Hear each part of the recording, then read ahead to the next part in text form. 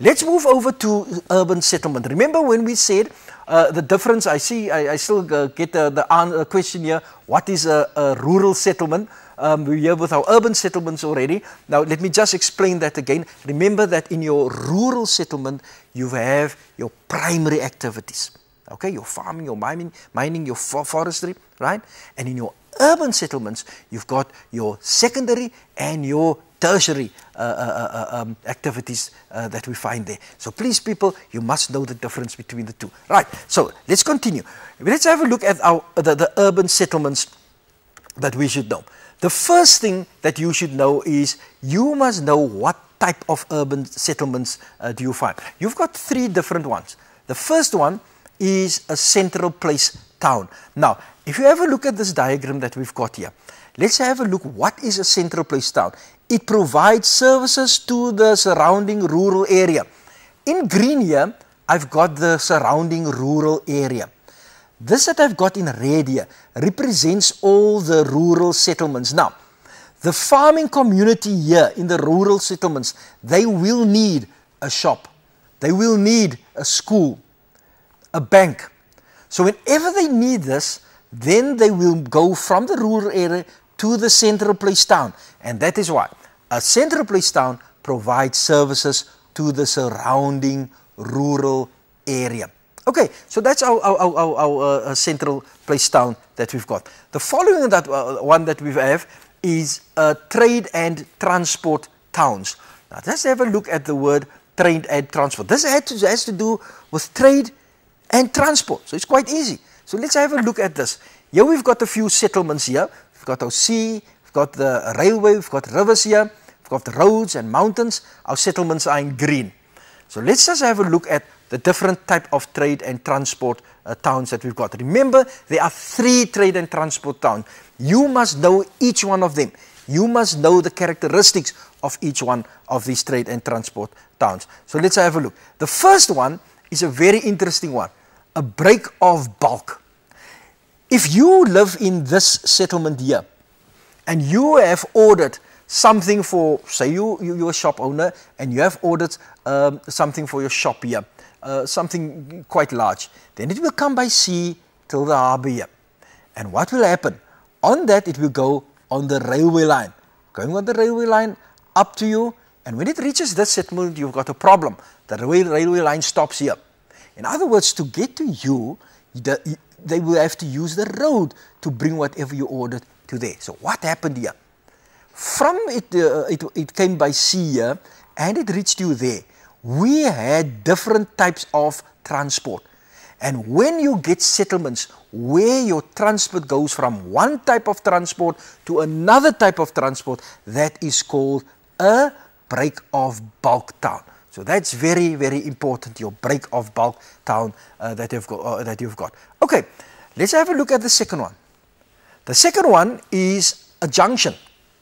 The junction is found on the intersection of railways. Now here we've got our railways, look at our key there. Got our railway lines here, right? De Aar is a, in, in, in, in, in our country is, a, is an example of this, okay? And uh, then we've also got here at the navigable uh, uh, uh, um, rivers here.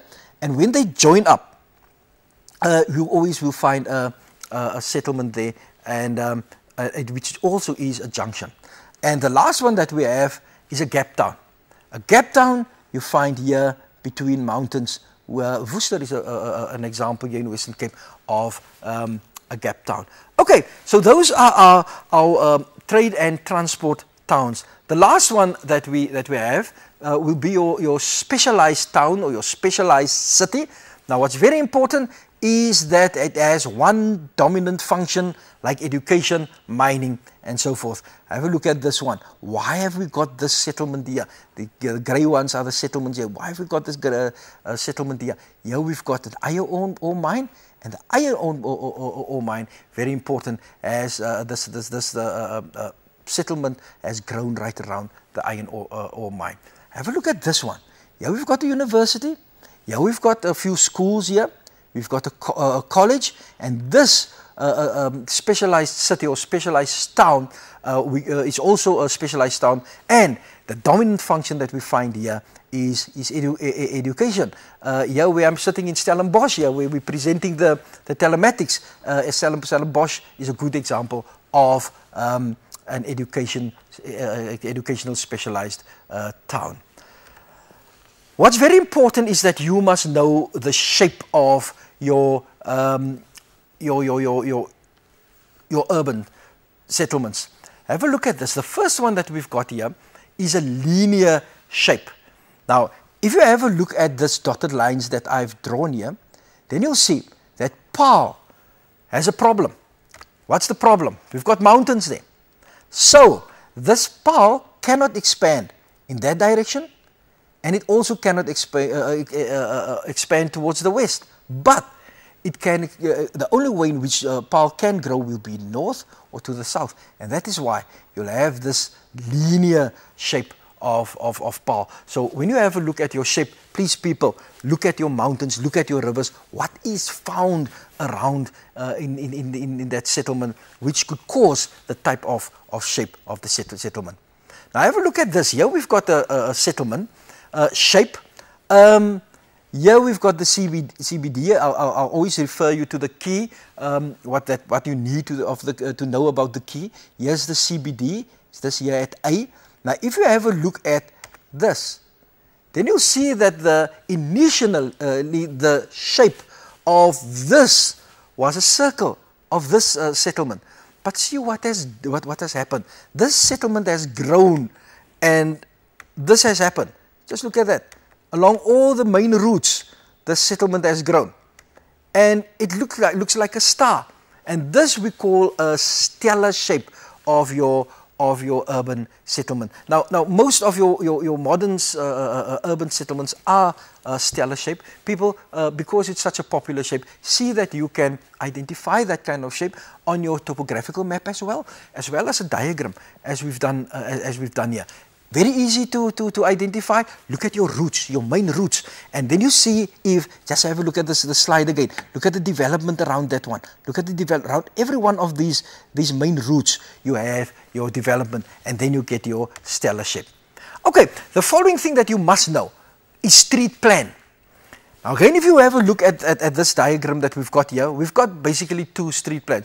We've got the irregular one, and if you ever look here, here's a mountain, look at the contours quite close to each other. So usually you will have your irregular one, you will have uh, close to a mountain, on the slopes of a mountain. And look at that, the grid one, look at that. Here we've got our lovely grid one. Look at the streets here. You can see very, very irregular. Look at this one, 90 degrees. Uh, they cross each other one uh, uh there.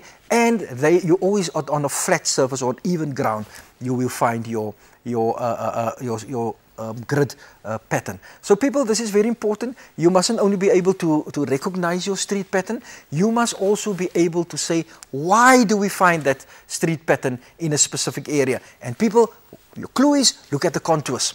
Okay, look at the contours because you always find your irregular one where you've got lots of contours. In other words, you've got your steep slopes, contours closer uh, to each other. Then people at urban uh, profile, let's have a look at urban urban profile. Now, what's very important is that when you have a look at profile, you must know that you are looking at the height of the different buildings.